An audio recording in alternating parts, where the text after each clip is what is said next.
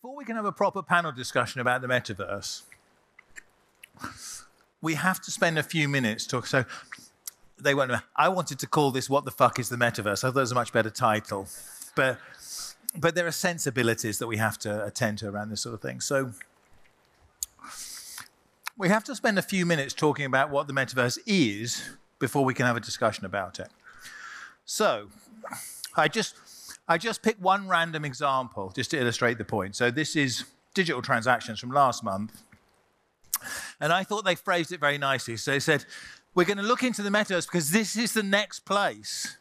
This is for payments, for transactions, for like this is a whole new, and it is, of course, but we're not quite sure what it is, which is a bit of a circle to square, I think, in some cases. They said, if you're not exactly sure what it is and how commerce will work, you're far from alone. So here is my very bold claim for this session, which is I bet most of the people in the audience, if I pushed you, you probably couldn't say what the metaverse is. I'm not going to make you do it. I'm just a thought experiment. Because I saw a survey that said, I think the survey, it said like, I don't know, 50, I don't know where it was, McKinsey, I can't remember, or Chat GPT, I can't remember. It said 50% of people uh, know what the metaverse is, but only 5% of them will explain it to the person next to them because they don't really know what it is. And that's, I feel like that's our starting point. So I'm going to make a bold claim. You can, you can hold me to account for this at the end of the session.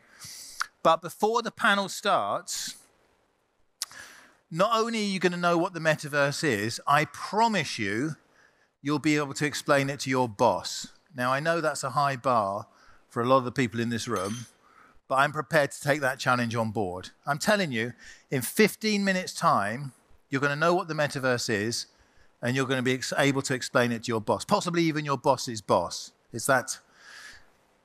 Well, maybe not your boss's boss, but certainly your boss. I mean, let's not let's not run before we can walk. So, what's the metaverse? Hmm. So we rather like the Financial Times definition. So the Financial Times, and who am I to argue with the Financial Times, really? So the Financial Times said there's really three parts to the metaverse. There's virtual worlds where transactions can take place. There are um, some sort of assets, some sort of digital assets that can be moved around to, to form the transactions and there's some sort of uh, identities that can own these assets. You have to have all three of these components, otherwise, you don't really have a metaverse. Like if you have assets but you don't know who owns them, that doesn't really work. That's not a proper market. You've got to have all three of these components. And I think that's a mimetic echo of what Jaron Lanier used to talk about when he first began talking about virtual worlds and so on, when he talked about economic avatars. And I rather like that phrasing of it. So if we're talking about transactions in the metaverse, we're talking about interactions between economic avatars. I think that's a, that's a, that's a very it's a very good phrasing. If you, if you can't own if you can't own stuff, you don't have a you don't have a proper market, and therefore there's no business that we're interested in. You have you have to have both things. You have to have the avatars, but they have to be able to own things. Otherwise, it's not a realistic space. So first of all, let's talk about virtual worlds. So that's a bit naughty. This is one of my all-time favorite pictures. That's, that's Mark Zuckerberg, the chap that runs Facebook and so on, um, at Mobile World Congress a few years ago. And so they made every put, uh, they made every put, all, all the people in the audience had the virtual reality goggles on, except for Mark Zuckerberg. And I just, you know, you know, alien civilizations investigating the ruins of our civilization in the future will find this picture and they'll probably see that as like a turning point where where things actually finally went wrong. So I treasure that picture. And here's a picture from this morning. Disney lays off its entire metaverse team. And so looking on Twitter thinking, hmm. So people in the audience are going to be thinking, why are we here, here talking about the metaverse when Disney has laid off its entire metaverse team? But why would you expect Disney to be able to invent the metaverse? I mean, you know what I mean? Like, Facebook didn't invent Twitter, Twitter didn't invent TikTok, Netscape didn't invent Facebook, Microsoft didn't invent Netscape, digital equipment didn't invent personal. You see, you see what I mean? Like, why would we think that Disney would be the people to invent the metaverse. That's very lazy. And the reason why we think this is because a lot of the comment about virtual worlds is about games, that kind of environment. So when I when I say virtual, like when when you think of virtual world in business terms, what you should be thinking about is a shared experiential space. It doesn't even necessarily have to be visual. There's a lot of work, go- like we're all at home, you know, in a kind of audio metaverse at the moment, all day long with our iPods in at the moment, um, you know, our, our AirPods in at the moment. Like when I'm walking around the house, I'm actually in a shared virtual space with Claire and Tim. That's a virtual world.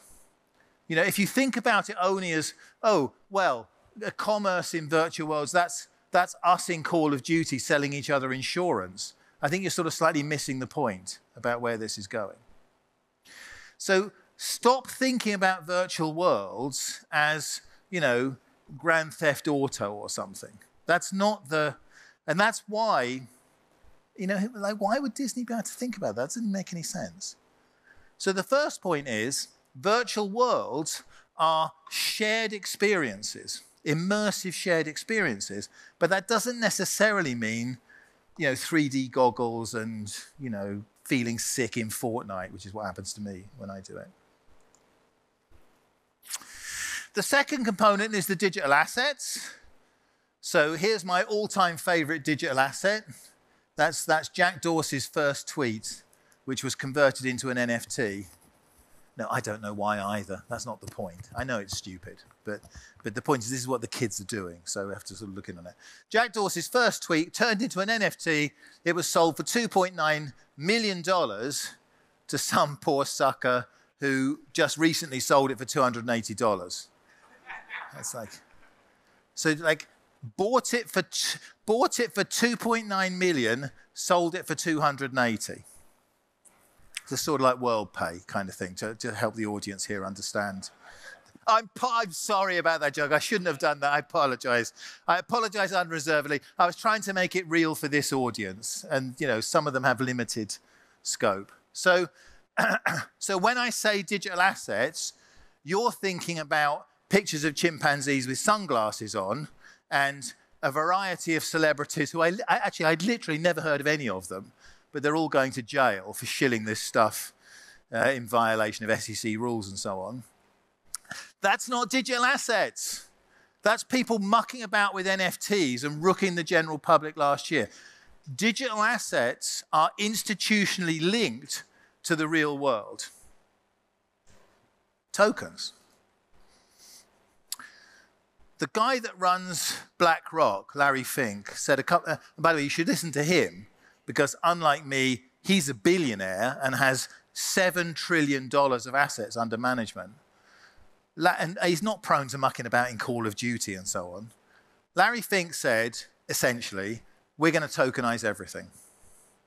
So, why are people like that crazy about digital assets when digital assets appear to be pictures of chimpanzees with sunglasses on? Well, the answer is the reason why those people are going to tokenize digital assets is because they want to be able to trade digital assets without clearing and settlement. Quite simple to understand. If I sell Claire a share in Apple, that involves all sorts of mucking about. You know, market makers and broker dealers and delivery versus payment and settlement and front office and back office and reconciliation, all these other things. But if I send Claire an Apple token. It goes from my wallet to her wallet, end of. That's why these people want to trade tokens. And how do you trade tokens? You trade tokens through sets of protocols which we call DeFi, decentralized finance. Why do we want to do it like that? Because we want to trade using those protocols that can exchange digital assets as efficiently as possible in a programmable fashion. So, however skeptical you are about cryptocurrency, and by the way, any reference I make to cryptocurrency is for entertainment purposes only. Can we be very clear about that? It's not an inducement to buy any particular security or class of securities. So, if you're skeptical about cryptocurrency, I completely agree. You shouldn't be skeptical about tokenization and decentralized finance. because that's where the serious money people are looking. So they're looking at an environment where you trade digital assets through these protocols. And we've begun to label that Web3, broadly speaking. So if you're wondering what Web3 is, Web3 is essentially digital asset tokens being traded through decentralized finance protocols. Then we come to digital identity. And digital identity, oh yeah, that's how I forgot I was using this. Uh, digital, this is my moment of fame. Digital identity. My, ID, this is on Instagram right? I get a message from a friend of mine that says, Is this you? And he sends me this message, which is me telling him, Hey, have you thought about investing in this cryptocurrency? I won't tell you which one. And I'm like, what? Are you in? First of all, I would never send you a message asking you to invest in cryptocurrency. And secondly, if you were thinking of taking financial advice from me, you should be sectioned under the Mental Health Act for your own protection. That was my reply to him. So, and it turns out someone had copied my, oh, it's pointed as well. But can you see, it's, they've, they've put an extra, so someone had copied my Instagram account and copied all of the photos of it and copied my icon over to it and created a completely bogus Instagram account in order to try and sell people cryptocurrency. And I was like, yes, this is, I've made it. Like, I'm a, seriously, I'm, has your Instagram account been copied? No, it hasn't. I'm somebody, basically. You're the general public. I'm an influencer. And I've, I've got the evidence. I, I was counterfeited. You weren't counterfeited. I've got concrete proof that I'm worth counterfeiting. I want to make an NFT of that. Things, things get a little bit recursive then. Turtles all the way down. So, But this is the bit that's missing. This is what's wrong we have virtual worlds that have the potential to be shared immersive experiences, and we have the uh, digital assets and Web3 we need to trade. The bit that's missing is the digital identity, the avatars. But you know there are people working on this right now. There were rumors sweeping the building yesterday of a European digital identity wallet. So I'm assuming that problem's solved. I'm not going to talk about it anymore. So if you put those three things together, this is the picture that you need for your boss. What is the metaverse? The metaverse is those three things it's the virtual worlds, it's Web3, and it's digital identity. And just for the technically minded in the audience, I'll just translate that for you. So when I say virtual worlds and Web3, I'm talking about digital objects, right? So what does Web3 deliver into those virtual worlds? Digital objects. Objects that can be owned that turns them into property. What does digital identity provide into virtual worlds? It provides credentials. We're all about credentials. Remember, it's not who you are, it's what you are. Because we believe in privacy, right? We believe in, in the European ideals of privacy and private transactions, which, if any of you are coming to the ECB talk about CBDC a bit later on, we'll circle back around to that point a bit later on. And thirdly, we have the digital identity provided to Web3, which it needs, which, as you all know, is the private keys. So for the technically minded, we're talking about private keys, we're talking about public keys, we're talking about ledgers. And the good news about that is we, we, you, all the people in the audience, know how to implement that stuff. We know how to implement all of that. We know how to do public keys and digital signatures and credentials and W3s. Like, this is great because we know about how all that stuff works. I don't want to talk about the different services here. And if you fill in the missing bit in the middle, you can see where I'm going with this. So, what's the bit in the middle that links all of these things together? Where are you going to store your private keys? where are you going to store the credentials that you need to access? Where are you going to store the digital objects? And we all know that the answer is wallets. And I hope you picked up the point that I was annoying the panel with yesterday morning, which is in the general case, if you're looking in a three to five year strategic horizon, this is the kind of this is the kind of range that our clients are looking at for strategy. If you're looking at that three to five year horizon, remember most of those wallet transactions will be controlled by agents, not by you. Because most of this stuff is boring. Like, do you really want to okay yeah, please, can you do my Netflix? No, of course not. You want robots to do that for you because it's boring. So it's all about wallets. And most of the time, those wallets are going to be responding to smart agents, not to people. Okay. Now I'm gonna now I'm gonna go for it. Look, I don't know if you want to have a look around, Claire, and see whether you're going to fire me or not. But if you think you can tell your boss what the metaverse is now, can you please put your hand up? Please put your hand up if you think you can tell your boss. Well, okay, I give up. That's it, done. Uh, I'm going to give you one worked example to prove that this stuff isn't crap. So, a few years ago, we were hired by Intel to look at some potential, you know, tokenization uh, ideas, blockchain ideas, most of which were, you know, whatever. But the one that really made sense, and I think it's the one that crystallizes the metaverse example for you, is event ticketing. Event ticketing is the perfect example because an event ticket itself is the perfect example of an NFT. So I had an NFT. Why is it a perfect example? Because there's only one of them, right? An event ticket, you're not supposed to be able to copy them and give them to your mates. That leads to no end of trouble right? The point about an event ticket is there's one of them. And if I send my ticket to go and see Motorhead to Claire, that's a bad example because they're all dead. All right, I think of a different one. If I send Claire my ticket to go and see, you know, insert name of pop star here. I don't know any. Who's a who's a famous? Um, what's what's the guy in Norwich? Uh, Ed Sheeran. That's right. Okay. So if I'm going to sell if I'm going to sell my ticket to go and see Ed Sheeran to Claire, then I don't send her a copy of the ticket. Like, you know what I mean? Like, I transfer the ticket from me to, that's an NFT. It goes from my wallet. So it's a perfect example.